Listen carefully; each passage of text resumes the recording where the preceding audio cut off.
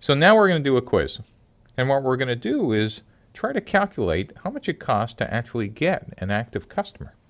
And let's start with the pay per click. Let's assume we're doing a web company and we spend 75 cents on Google AdWords for every click that comes to our website here.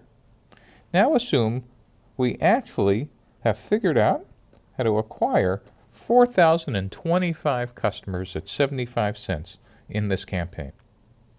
Next, we just don't want to get them to our website.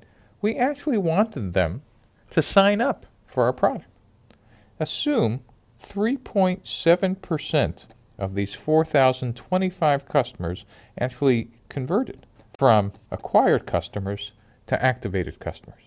So the question for this quiz is calculate what was the customer acquisition cost per customer.